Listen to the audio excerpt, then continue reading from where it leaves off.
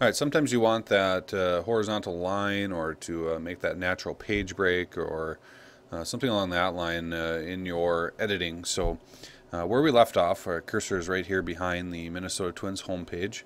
And so what I'm going to do is just make a couple returns here because uh, my picture is has text wrapping. Okay, and so my cursor is now down here below my picture.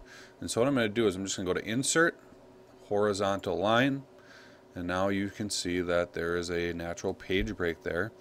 And so if you want to again insert an image. And I'm going to insert this Spartans image.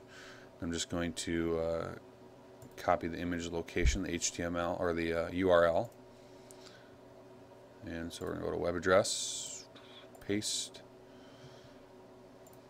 Okay Turn my text wrapping on. Keep it the original.